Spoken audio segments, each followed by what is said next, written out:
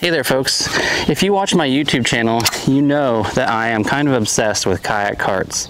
Now aside from Hobie, which manufactures carts specifically for their kayaks, most manufacturers of kayaks out there actually depend on third-party vendors to make kayak carts for their kayaks, or they make a basic uh, kayak cart design that works with multiple types of kayaks out there.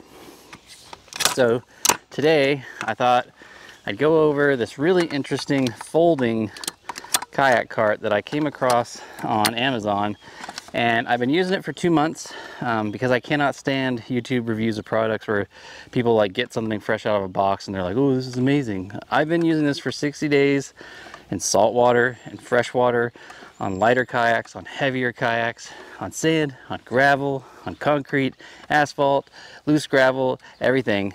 And I thought I'd go over uh, my thoughts on the Ganex Find heavy duty folding kayak cart, which retails for just 120 bucks.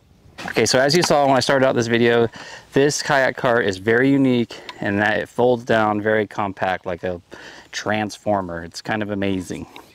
It weighs about eight pounds, so it's still fairly heavy duty and it has movable parts uh, that allow it to fold up. You can also adjust the distance that these tires are apart. Um, you can tighten it up. I always keep it at the max. The max actually works perfectly with my Old Town Salty 120 PDL and my Old Town Autopilot 120. So pretty much all the Old Towns, uh, which have a fairly wide spacing in their tri-hole design, it allows it to lock in there really nicely and you can secure that. And also at this distance, it's the distance that it needs to fold down perfectly in order to get the tires and everything to not overlap. So you get the most compact uh, folding of it when these are spaced at their maximal distance. Now this is a very heavy duty cart. It's rated up to 250 pounds, so it can handle a very heavy fishing kayak that's loaded down with tons of gear. You've got a steel frame and then these, it looks like aluminum bunks here with rubber coated on top so it doesn't slip up and down when it gets in those grooves in your kayak. In fact, I've hardly ever used straps on this thing unless I'm going over uneven terrain. Uh, but even going up and down rough uh, grooved ramps, uh, the kayak was not slipping on this. So this is very grippy and holds well. Um, as you can tell, some of the components are already starting to come off on this thing though. So it does feel cheap a little bit on some components. And I think if they would have just upgraded the components a little bit better on this cart, it would have knocked it out of the park. But as you can see, this little bumper on the end, this one has it, this one doesn't, it fell off. Similarly, uh, the glue they used for the kickstands on this thing uh, aren't very good. And I already lost one somewhere on a path somewhere. So you, if you want to use this, you want to take these off, glue them, and I would recommend doing the same for those end bumpers there uh, because just some exposure to salt water and fresh water seems to have degraded the glue. But having these kickstands is really nice because when you put this down, it makes the, the bunks a little more level, not so high. Um, so it's really easy to slip your kayak up on top of these bunks with those kickstands. And the kickstands still function really well, even in absence of these little rubber feet so it's not really been an issue for me.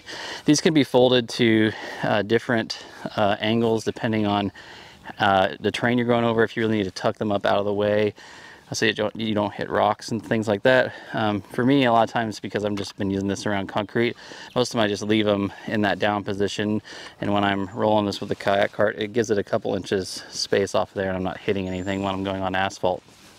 But on gravel and stuff, I did have to fold it up out of the way so it didn't catch. Now, if I had to give these a grade, I would say I'd give it a C+. And there's a couple reasons to that. One, I talked about some of the components just falling off. But I'm actually getting a fair amount of corrosion um, at some pretty important components. Uh, namely, a number of the nuts, bolts, and really importantly, some of these little tab springs or button springs that they use right here are rusting quite a bit. And and when I took this out of salt water, I always gave it a really good rinse in fresh water, but I just don't think they used uh, the highest quality stainless steel springs on these things. What's really interesting is down low um, on those same spring buttons here, like down by the tires, they did seem to use stainless. So the ones that they expected to get really wet down here are stainless and I have no issues with those, but the ones higher up are not and they have rusted really badly. So when I look down inside there, the leaf springs are actually rusting. I think they're just going to break at some point and then that's going to render that useless. So uh, it looks like it's not too hard for me to slide a new spring down in there and replace these with a stainless, uh, but I'm going to have to find the right length and that might be a bit of a pain. Um, or if I had just known to take proper precautions, I might have lubricated those with some WD-40 every trip and prevented any corrosion at all. Uh, so that's why I'm giving it a C+. plus. I think they could have done a little bit better job with some stainless parts there. But for 120 bucks, having a folding cart uh, that can handle weight, I took this out on, like I said, on hard surfaces, it excels very, very well. Um, because of these three and a half inch wide tires, they're eight inch diameter. But I noticed when going over like rocky, rough terrain, when I was taking down an unimproved trail, I really had a lot of teetering of the kayak and very bumpy and unstable. And that's just because these are a fairly small diameter tire. So in comparison, here's my Wilderness Systems cart. See the tire difference here, the wheel difference? Because this is a wider diameter wheel on the Wilderness Systems cart, which is still my favorite cart, uh, it flattens this out a little bit more as it goes over rocks, so it's not so rough. It doesn't like bang and drop off of rocks uh, quite so easily because it can roll more gently over the top of rocks. Whereas this being a much lower diameter wheel, it just felt like it was shuddering the kayak and jarring it a little bit more. Both of these wheels just absolutely suck on sand. So if you're in soft sand or soft gravel or mud, none of these are going to work very well and you're gonna have to go with a kayak uh, cart. So you're gonna have to go with balloon style wheels and they don't have that option for this cart here. So you're gonna have to find a different cart. Okay. Now unfolding this thing is really easy and folding it back up is a bit of a pain actually. I found it's a lot harder to fold back up than it is to unfold but there are all these little leaf spring buttons everywhere on this thing and you start with the bunks. It weighs about eight pounds, so it's not really lightweight, um, but it is compact. Then after you get the bunks folded up, you want to fold those sideways. And this is where those uh, springs that have rusted are causing me the most problem because they're catching a little bit more than they used to. But you see why you need that maximum space here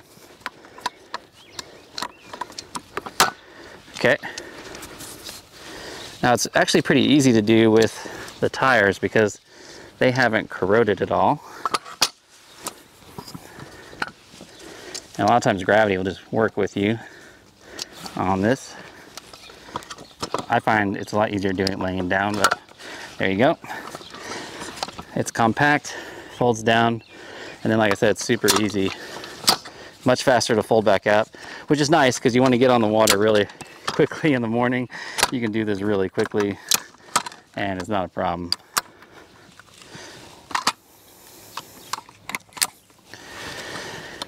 Would I buy this again? Absolutely I would. It's a, for 120 bucks. Super compact, super easy to use, especially if I was just doing freshwater or saltwater, improved ramps, gravel asphalt launches, where it's compact surfaces.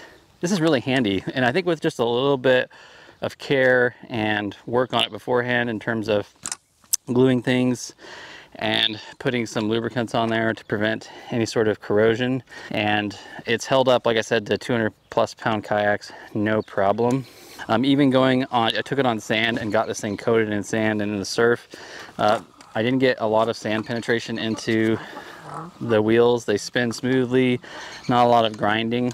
Um, so they seem to be holding up extremely well on that end. So I'll put links to this kayak cart below and uh, you can give it a try if you think it might work for you. I mean, it's not a Wilderness Systems cart. It's not built like a Wilderness Systems cart, but if you're looking for a compact cart that you can throw in your kayak or in your car easily, that doesn't take up too much space or a backup cart even, at 120 bucks, this is a pretty good deal. All right, guys, I'll see you guys next time. Just remember, fish smarter, not harder. Bye, guys.